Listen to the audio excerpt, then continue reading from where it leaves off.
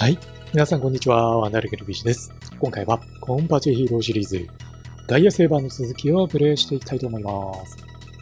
え前回、バルタン星人と戦って、まあ、謎の石板を入手しました。これを、まずは、二宮博士のもとに持ち帰りたいと思います。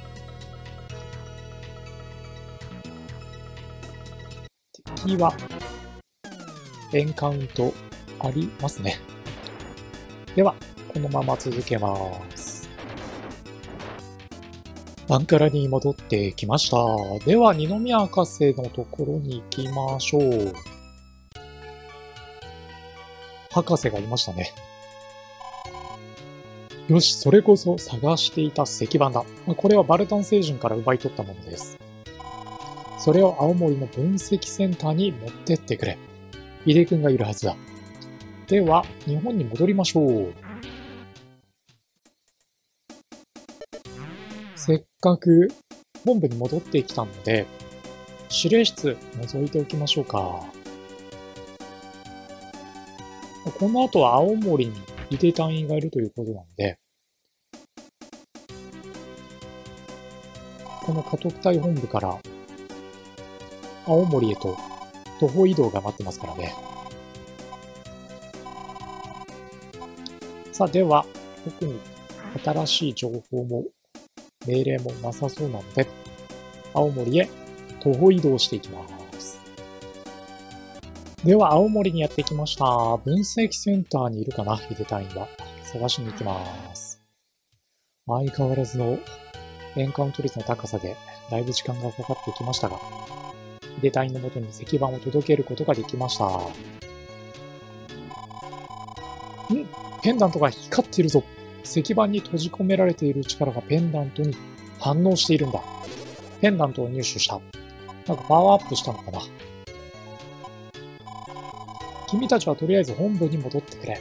ということですね。いやー、また本部に戻るのか。なかなか大変な、えー、道のりだったんですけどね。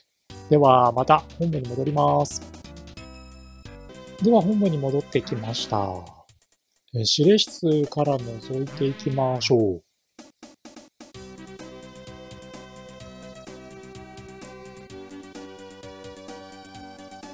あとはですね、アイテム系を補充しておきたいと思います。回復アイテムも何ももう持ってないので。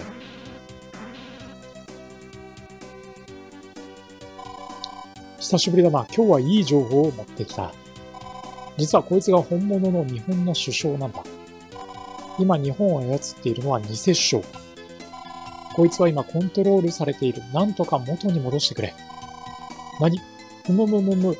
彼を元に戻すためには体内に入らないとダメだ。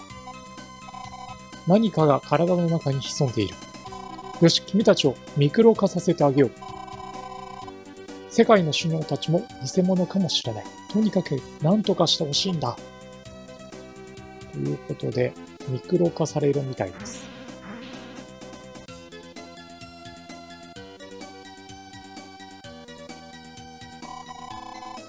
準備はいいか私の力で君たちを体内に送り込もう。いや、アイテムをちょっと買ってきます。東京まで買い出しに来ました。家督隊本部にはあんまりいいアイテムが売ってなかったので、このパワーカプセルが欲しいんですよね。パワーカプセルを買って戻りましょう。では、パワーカプセルを買って戻ってきました。ミクロ化して、偽首相を倒すために首相の体内へと入っていきましょう。これが、ん？エンカウントがあるんだな、ミクロ化しても。では、進んでいきます。アマゾンがレベル23になって、ようやくアマゾンコーションを覚えてくれました。これは、あの、エンカウント率を下げてくれる効果があるので、早速使います。ちょっとはね、敵との遭遇が減るかなと思います。お、なんかいるぞ。誰だダリー、キリリリリリということで戦闘ですね。本当にね、これ、エンカウント率がむちゃくちゃ高いゲームなので、Amazon コーションのあるなしでだいぶ、えー、ゲームのね、進行スピード、快適さ変わってくるかなと思います。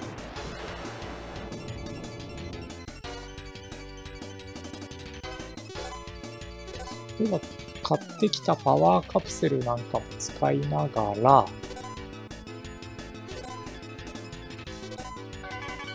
倒していきましょう。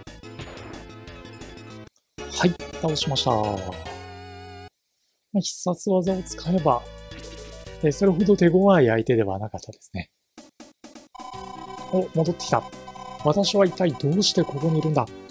そういえば私そっくりな奴がす、てんてんてん。そいつを倒さないと大変なことに。ヒーローの諸君、頼む。私の偽物を倒してくれ。これだけか。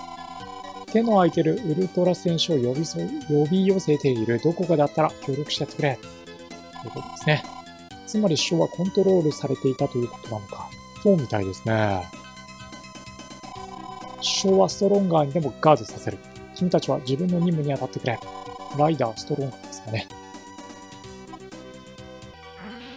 では、偽首相を倒すために、東京にやってきたんですが、またここでアイテム、特にパワーカプセルですね。これを補充しておきます。ボス戦は特に必殺技を使って効果力で押し切るのが一番有効かなと思うので、まあ、そのために必要となるパワーカプセルですね。えー、これを補充しました。お、暗闇大使だ。ついにバレたか。しかし、このままではおかん。さあ、かかってこい。いきなりボス戦か。まあ、アイテム、買ったとはいえですね、急だな。うーん、しょうがない。このターンは、みんな、パワーカプセルを使って回復に努めましょう。大使の攻撃力、さすがですね。結構あるので、長期戦になると不利になると思います。なので、ここはもう効果力の必殺技を使って、一気に倒しに行きましょう。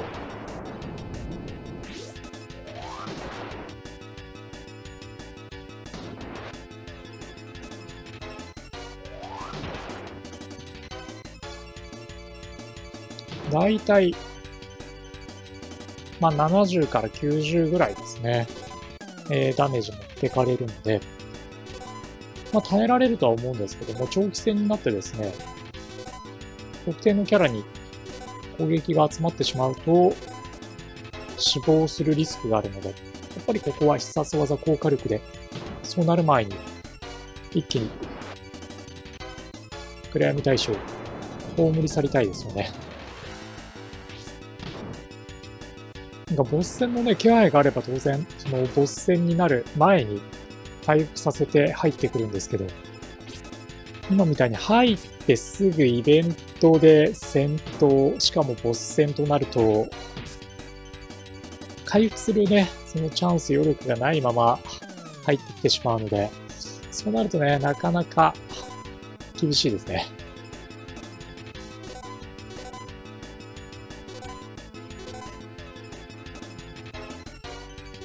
まあ、そういう意味では、あの常にある程度の回復はした状態で移動しておくっていうのが一番安心かもしれないですね。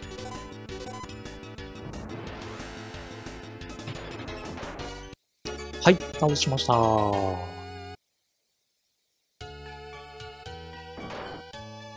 爆死しただったな。これで終わりかな一応奥も探索しておきます。特に会議場何もなかったので、本部に戻ってきました。諸君、たった今、アンヌ隊員から連絡が入ったんだが、ヨーロッパで何か大きな敵の動きがあるらしい。ロンドンにいるアンヌ隊員に協力し合ってくれ。ということは、今度はロンドンにと思うんですね。では、早速ロンドンに向かいましょう。では、ロンドンです。悪の同盟かなんてことだ。実はパリに敵が秘密基地を作っているの。アンの隊員ですね。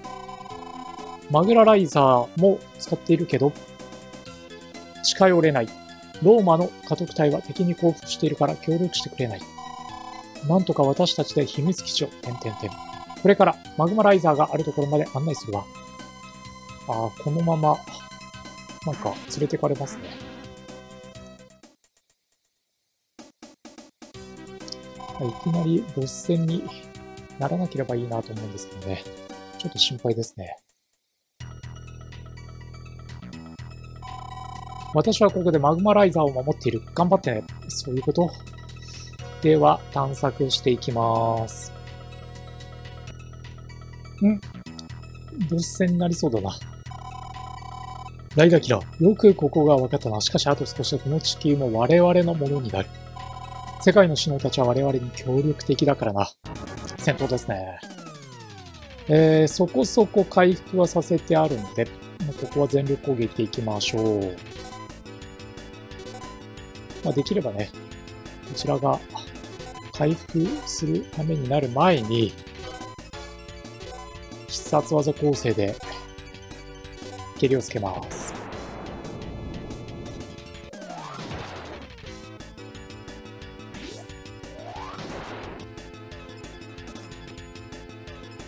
エネルギーが 尽きてしまいましたね。いや、一筋縄ではいかないな。回復して、また、必殺技構成のターンまで待ちましょう。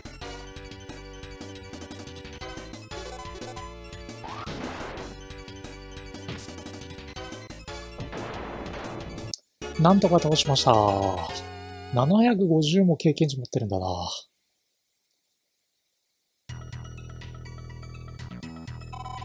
ライダーキラーを分析センターに送ろう。こいつは何か秘密を知っている。